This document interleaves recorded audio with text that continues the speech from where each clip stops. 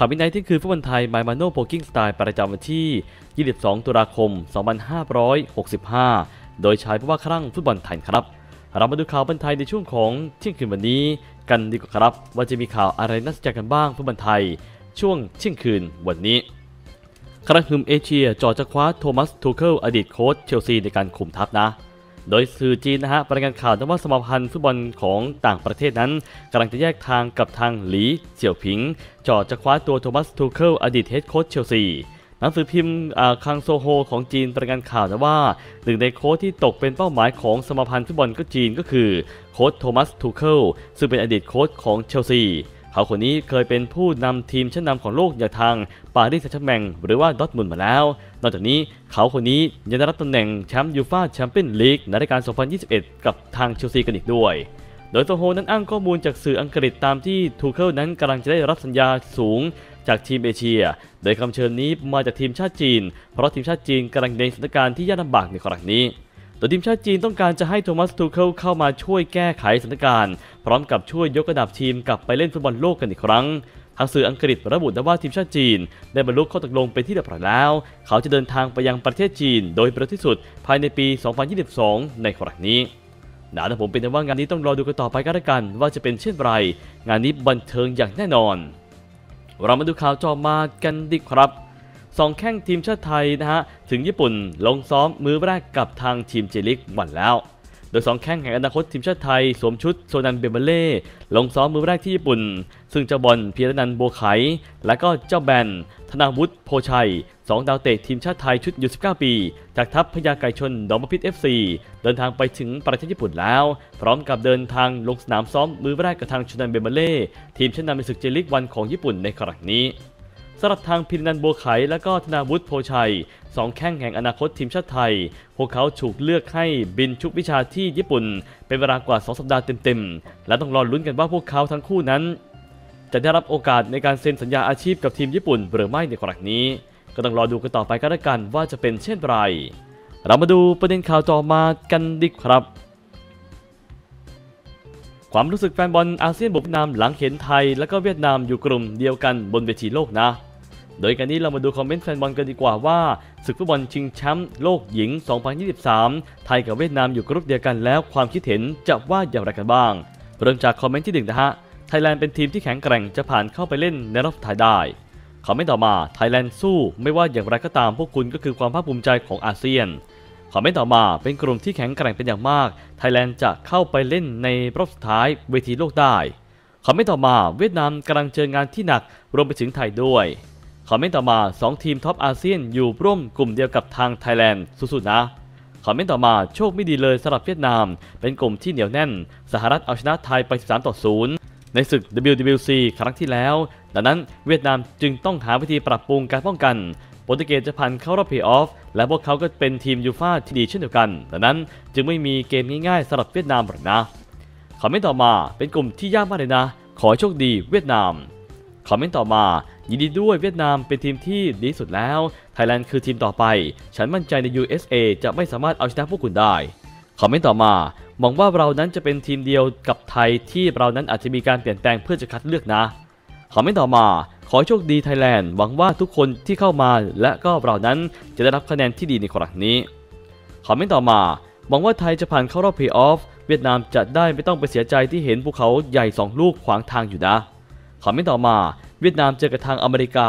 ซึ่งเป็นช่างเป็นคู่ที่คลาสสิกจริงๆคอมเมนต์ต่อมาเป็นงานที่ยากมากเลยนะสำหรับเวียดนามคอมเมนต์ต่อมา ฉันยังคงรอประเทศไทยที่จะผ่านเข้ารอบในครั้งนี้คอมเมนต์ต่อมา ขอโชคดีเวียดนามคอมเมนต์ต่อมา การแข่งขันที่ดุเดือด ประสบการณ์ที่สนุกสนาน ฉันภูมิใจธงเวียดนาม ของเรานั้นถูกนำเสนอในฟุตบอลโลกกับทางเวียดนามอย่างแน่นอนนะผมเป็นแต่ว่างานนี้ต้องรอดูกันต่อไปกันละกันว่าจะเป็นเช่นไร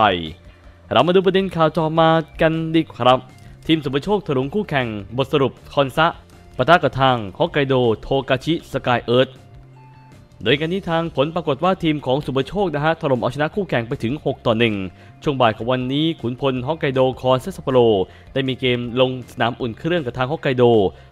โทคาชิสกายเอิร์ธก่อนที่จะบุกไปซานเฟรชเชฮิโรชิมาโดยผลการแข่งขันเป็นดังต่อไปนี้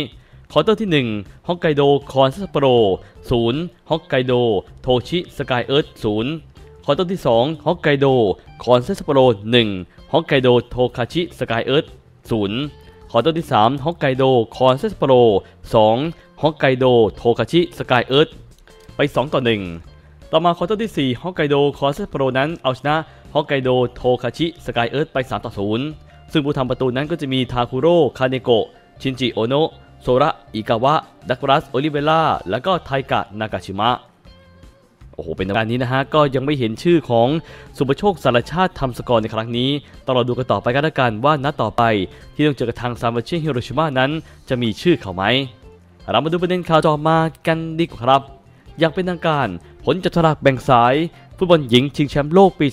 2023 โดยหากทีมชาติไทยผ่านเข้ารอบเพลย์ออฟไปได้ จะไปอยู่ในกลุ่ม E ร่วมสายกับทางอเมริกา เวียดนาม และก็เนเธอร์แลนด์ โดยกลุ่ม A นั้นก็จะมีนิวซีแลนด์ นอร์เวย์ ฟิลิปปินส์ สวิตเซอร์แลนด์ กลุ่ม B ก็จะเป็นออสเตรเลีย ไนจีเรีย แคนาดา กลุ่ม C ก็จะเป็นสเปน คอสตาริกา แซมเบีย และก็ญี่ปุ่น กลุ่ม D จะเป็นอังกฤษ แล้วก็รอบเพลย์ออฟในกลุ่ม B เดนมาร์ก แล้วก็จีน กลุ่ม E ก็จะเป็น USA เวียดนาม เนเธอร์แลนด์ แล้วก็ กลุ่ม A Playoff Winner กลุ่ม F ก็จะเป็นอ่าฝรั่งเศสจาเมกาบราซิล แล้วก็กลุ่ม C Playoff Winner กลุ่ม G ก็จะเป็นสวีเดนเซาท์แอฟริกา อิตาลีอาร์เจนตินา และกลุ่ม H เป็นเยอรมนีโมร็อกโก โคลอมเบีย และก็เกาหลีใต้นะแต่ผมเป็นว่างานนี้ก็ไปให้กำลังใจพวกเขากันด้วยนะครับ ทีมชาติไทยของเราสู้ๆนะฮะ สู้ถึงขาดใจดิ้นไปเลย เรามาดูประเด็นข่าวจอมากันดีกว่าครับ สื่อตีข่าวเคด้า FC ทีมสารวัตรเดชมิตร สนใจจะทาบทามซิโก้ นั่งเก้าอี้โค้ชคนใหม่นะ โดยงานที่ทางสื่อท้องถิ่นของมาเลเซียตีข่าวว่าสโมสรเคด้าดาวรุนอัปมัน สนทาบทามโค้ชซิโก้เกียรติศักดิ์เสนาเมือง มาคุมทัพแทนที่ไอดิลชารินซาฮักที่เพิ่งแยกทางกันไป โดยโค้ชซิโก้เกียรติศักดิ์เสนาเมืองเฮดโค้ชใหญ่ของฮองอันห์ยาลาย ทีมในศึกวีลีกประเทศเวียดนามกำลังเนื้อหอมที่สุดเลยนะฮะ หลังจากก่อนหน้านี้มีกระแสข่าวว่าเป็นหนึ่งในลิสต์กุนซือคนใหม่ของทัพดาวทอง ทีมชาติเวียดนามชุดใหญ่ที่กำลังจะแยกทางกับทางปาร์คฮังซอหลังจากจบศึก AFF Mitsubishi Electric Cup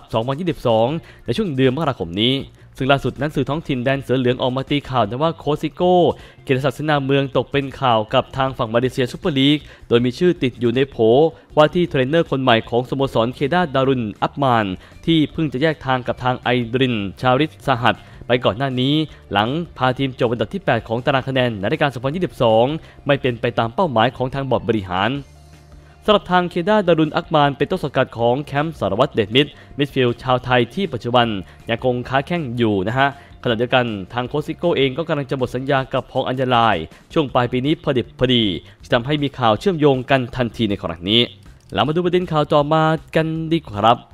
งานเข้าฟีฟ่าลงโทษจูบิโลห้ามเสริมทัพในช่วงซีซั่นหน้า หลังทำผิดกฎการซื้อขาย โดยสื่อญี่ปุ่นเผยว่าจูบิโลอิวาตะทีมในศึกเจลีกหนึ่งนะฮะ ถูกสมาพันธ์ฟุตบอลนานาชาติหรือว่าฟีฟ่าลงโทษแบนห้ามเสริมทัพนักเตะในรายการ 2023 พร้อมปรับเงินอีก 50,000 เหรียญสหรัฐ หรือประมาณราว 1.9 ล้านบาท เพื่อเป็นการลงโทษหลังพบว่ามีการเซ็นสัญญานักเตะทับซ้อนในครั้งนี้ โดยนักเตะดังกล่าวนั้นคือฟาเบียนกอนซาเรสหอกชาวโคลอมเบียวัย 29 ปี ที่ยังมีสัญญากับสโมสรในเมืองไทย แต่ไม่มีการเปิดเผยว่าเป็นสโมสรใด ซึ่งถือเป็นการกระทำที่ผิดกฎของฟีฟ่าในการเซ็นสัญญานักเตะที่ยังไม่ได้ยกเลิกสัญญากับต้นสังกัดเก่า และจะทำให้ฟาเบียนกอนซาเรสถูกห้ามยุ่งเกี่ยวกับฟุตบอลเป็นเวลากว่า 4 เดือนอีกด้วย นอกจากนี้เงินจำนวนดังกล่าวนั้นทางสโมสรจูบิโลอิวาตะจะต้องนำไปจ่ายให้กับสโมสรต้นสังกัดของฟาเบียนกอนซาเรสที่อยู่ในประเทศไทยด้วยนะฮะ เพื่อเป็นการรับผิดชอบต่อการกระทำผิดกฎของทางทีมในครั้งนี้อย่างไรก็ตามทางจูบิโลอิวาตะได้ทำการยื่นอุทธรณ์ไปยังศาลอนุญาโตตุลาการกีฬานะฮะ หรือว่าทาง CAS เพื่อจะชี้แจงข้อเท็จจริงนะว่าทางสโมสรไม่ทราบมาก่อนว่านักเตะนั้นยังมีสัญญากับต้นสังกัดเก่า โดยต้องรอการพิจารณาในระดับขั้นต่อไปในครั้งนี้ และนี่ก็เป็นข่าว midnight เที่ยงคืนฟุตบอลไทย by มาโนโพลกิ้งสไตล์ประจำวันที่ 22 ตุลาคม 2565 โดยชายผู้บ้าคลั่งฟุตบอลไทยครับ